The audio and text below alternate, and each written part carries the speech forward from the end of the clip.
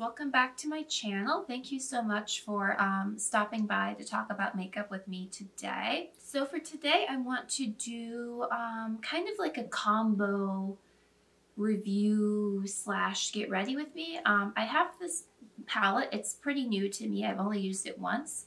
This is the Teddy Girl palette from Butter London and I want to like do kind of a get ready with me um, with this palette and kind of give you my thoughts about it and also kind of just, you know, chat about, you know, some things that have been on my mind. That's what I'm planning to do today. So let's jump into the video. Okay, so let's get started. Um, the first thing, obviously, I'm to put my hair back.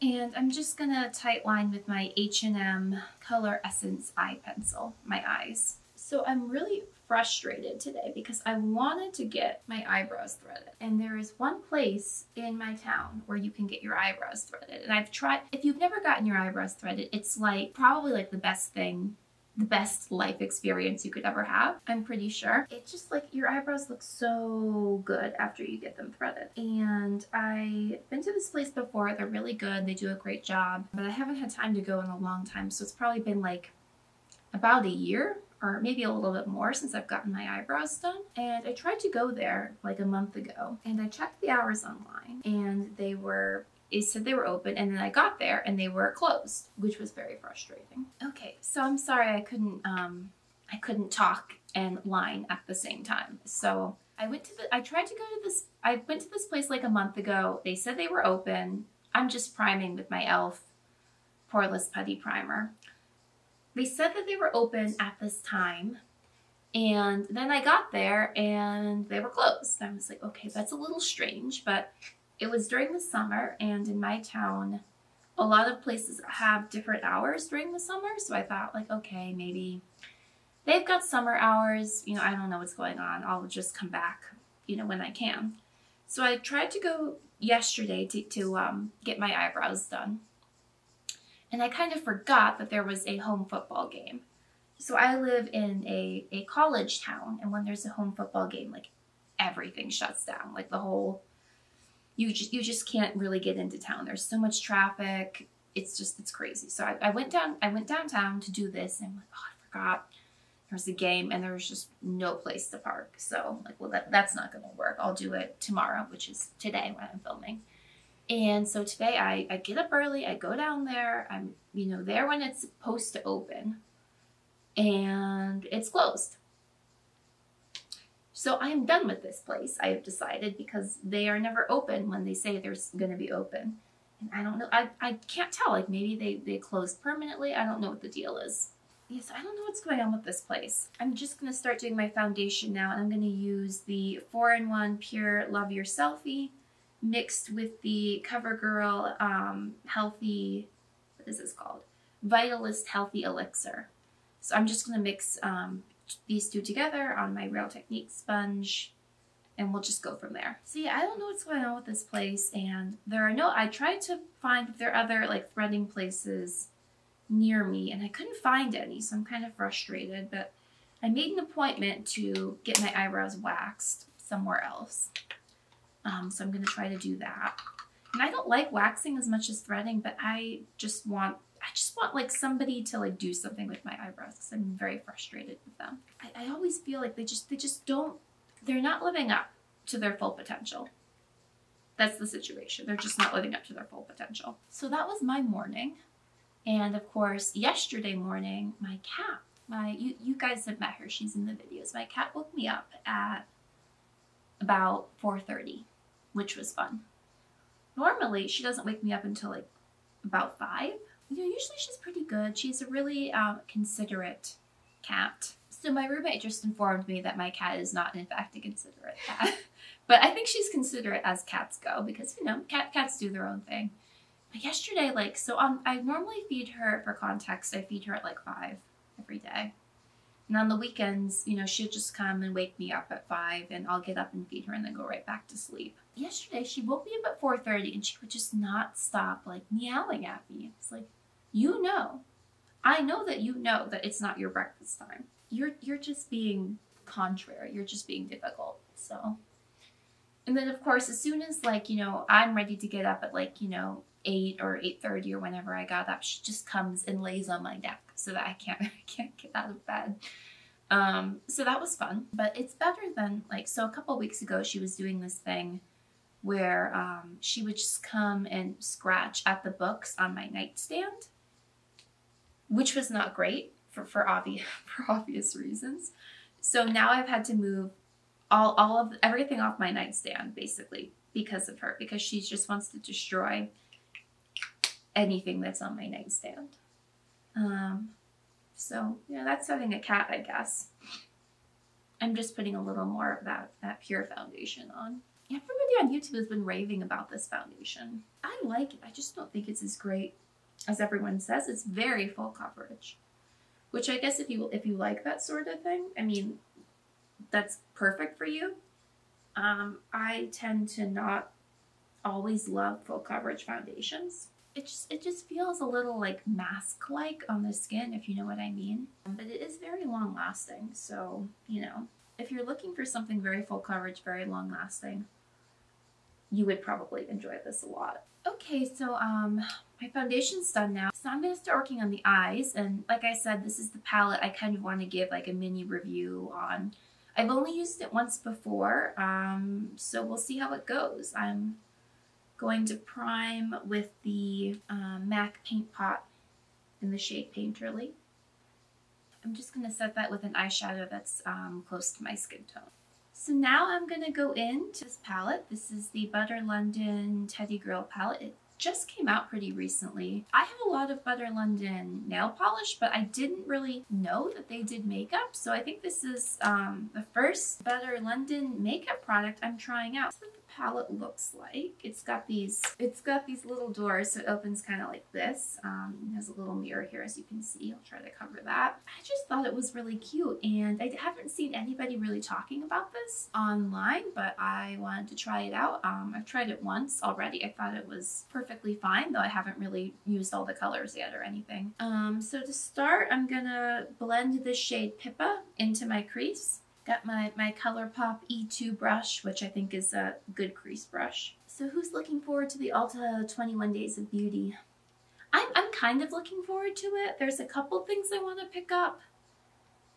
Not that many though. I feel like in previous years it's been better, you know?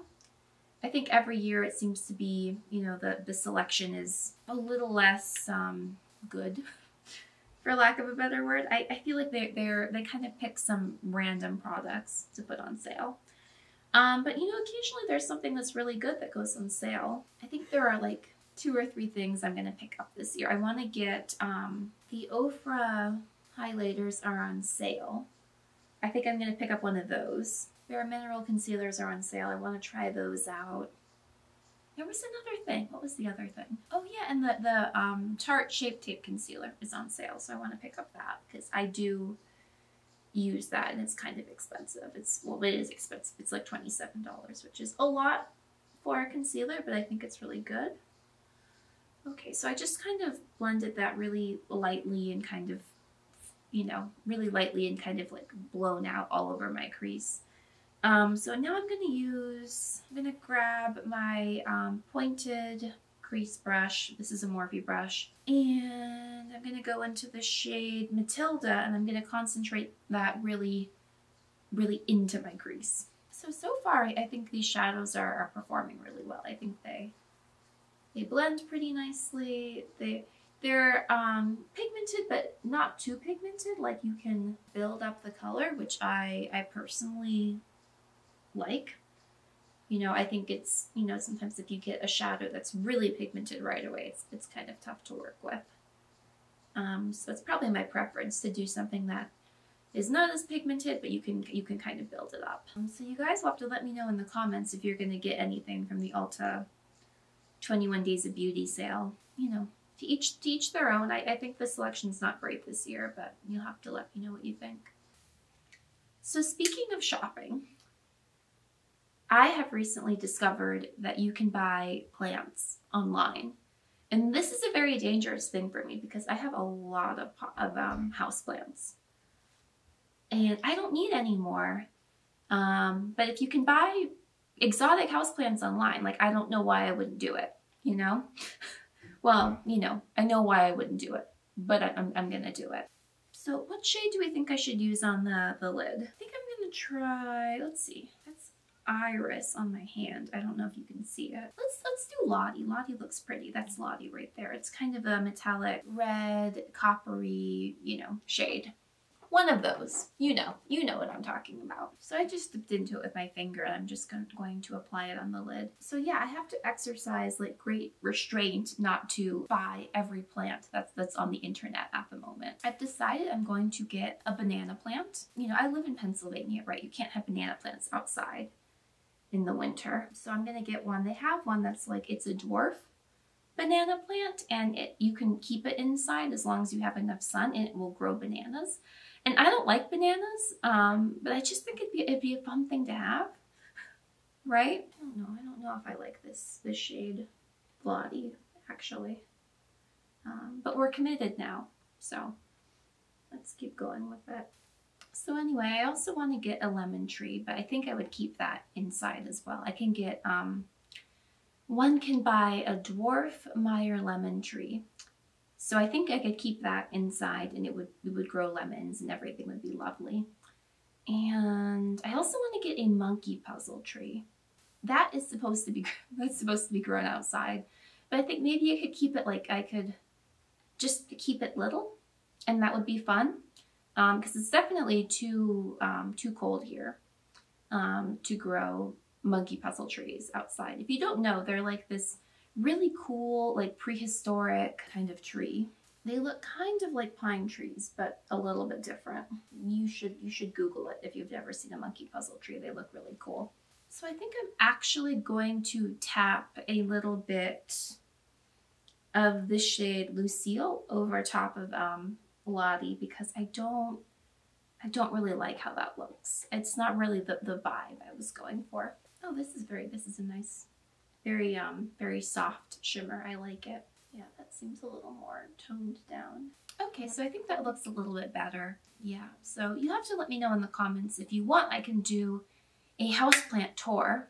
I don't have all of my, you know, exotic banana trees and stuff like that yet, but I have like, I think I counted, I have like 40 houseplants, something like that. I mean, a lot of them are really small and they're in the same pot. Not all of them are even here. Some of them are in my, my office at work. Um, so I could do a houseplant tour if you guys are at all interested. I'm just using a Morphe pencil brush. I'm just kind of um, putting this towards the center of my eye and I'm going to put a darker corner on the outside corner and just blend. So now I'm going to take this shade Beatrice and go in the outside corner.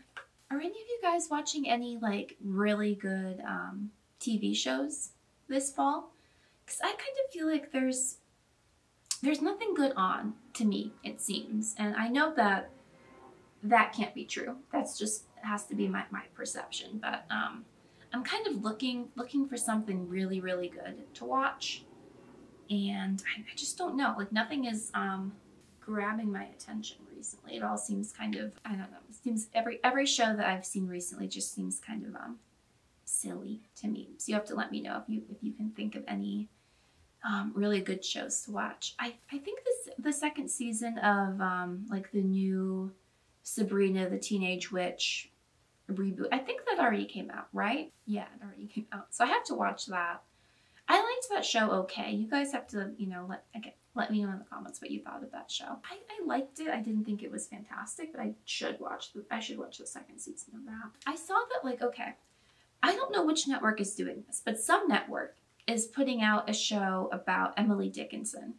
And it just looks, you know, no shade if you're if you're excited about this, but it just looks really stupid to me, to be honest. I, I don't know. They they make these this really bothers me when when networks make these like, you know, historical drama, historical fiction shows, and they just don't. But they, they just try to make everybody talk and behave and like make choices as if they were living in the 21st century. I don't know why they why they do that. If you want to make shows where people, you know, behave like they're living in the 21st century, just make a show in the 20 set in the 21st century. I find it to be really frustrating. So I'm not gonna watch that. That looks dumb to me. You know, I'm sure I'm sure some people will enjoy it, but it, it's it's not for me. I'm gonna grab a little bit of the shade Penelope and pack it in the outer corner.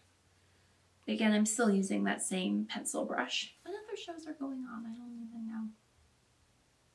I'm not, as, as you can tell, I'm not really plugged in to like popular culture. Um, so now I'm just gonna grab my, my IT Cosmetics blending brush and just kind of blend all of that together. So I think just to finish up the eye look, I'm just gonna grab a little of the shade Poppy and just kind of put it um, on, like on my brow bone. So I think this is the eye look we ended up with. I don't know, I think I like it. I think I like this palette. It's $28. I don't know if it's worth $28. Oh, hi. My cat just popped up. I guess she heard me talking about her earlier. I don't think you can see her, but she's here sitting on my knee. She needs to go to the vet soon, so you don't tell her that. She needs a rabies shot. So this is the thing about cats. Like they always come and like jump on you when you don't necessarily want them. Okay, so I think I'm gonna, I'm just gonna call it quits with the eye look because I think this is this is the look we're, we're, we're getting to. I do like this palette. I think it blends really well. I'm just um, putting on some of my Tarte Shape Tape Concealer here. I don't know if this palette's worth $28. Um, I think you could get a ColourPop palette, you know, grab one of their more warm-toned neutral palettes, you know, maybe their, their Fortune palette, their Yes Please palette, and you could get um, a very similar kind of experience I do think that this formula is more blendable than the ColourPop formula, but I don't I don't know if it's if it's really worth that much extra money. You know what I mean? So the summer, like it seems to me that the summer just really sped by. I feel like it was just you know, just yesterday that we were like in June and all of a sudden we're in September and like I don't I don't know where now I have to start thinking about like the holidays and like, you know, um cold weather and I'm just like not not ready for that at all. I am looking forward to being able to wear sweaters though because I love to wear sweaters. And I, I, have so many just like fun sweaters that I like to wear so I'm just like looking forward to getting out all my sweaters. And it's so like I feel like styling sweaters is so so easy. Like you just have a a sweater, you can put like a scarf, you can you can just put together an outfit so easily. Okay, so next I'm gonna powder with my Maybelline Fit Me powder. So the other thing about fall, I know everyone gets really excited about the um, pumpkin spice latte from Starbucks. I don't really care about that. I don't know if that's just me. It seems like everybody, you know, around me, I just hear about it like all the time. And I thought people were kind of over it, but I guess not. I mean, to be honest, I don't really like, I like, you know, pumpkin pie and, you know, stuff like that, but pumpkin spice, like flavored things, I tend not to like that much. So I don't know if that makes me weird. I'm just powdering my whole face, you know, just to make sure my makeup lasts, you know, all day. And I'm using my um, Love is the foundation brush. It's a foundation brush, but I actually um, quite like it for powder too. So I forgot to do my contour. I think I'll just skip it today. Like I don't always contour. I think sometimes because I, I'm so pale, to be honest, sometimes it looks a little much on me, so I just do kind of a blush contour, which means I just kind of carve out my cheekbones with, with blush. Um, I feel like that works a little better because I'm, I'm so pale. Before I do that, I'm just going to go and do um, my lower lash line. And I'm just going to use that shade Matilda that I was using earlier. I'm just not ready for it to be fall yet. I, you know, summer was too quick. Although I am looking forward to Christmas because I'm going to um, travel and visit my mom's family, which will be fun. Because and also because I'm taking like you know two weeks off from work, and that that'll you know that's always nice. Have a nice long break. Oh, that was too much.